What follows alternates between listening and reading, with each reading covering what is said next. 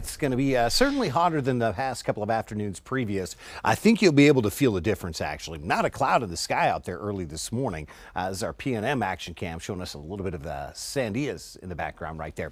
Uh, nice start considering it's the middle of June. The afternoon, yes, a step hotter, also breezier and much drier than the days previous. The cool spots across western and northern New Mexico are right around 50 degrees. We've been holding this morning around 70 for Roswell and Hobbs, so quite a contrast in temperatures within New Mexico's borders. We've even dropped to 46 this hour in Grants, and it is 44 with some smoke and haze in the air up around Durango. Also seeing those smoky skies in the Farmington area. Uh, try to stay indoors if you can. Don't run your swamp coolers if you're waking up to the smoke and haze. We're not seeing it in Albuquerque this morning.